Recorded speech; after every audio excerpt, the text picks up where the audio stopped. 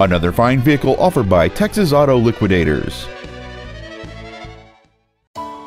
This is a 2008 Volkswagen Jetta.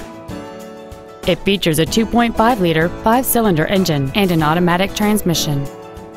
Its top features include a sunroof, cruise control, a rear window defroster, a locking differential, heated washer fluid, alloy wheels, a chrome grille, a low tire pressure indicator, speed-sensitive variable power steering, and folding rear seats.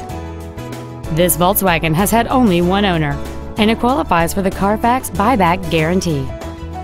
Contact us today to arrange your test drive.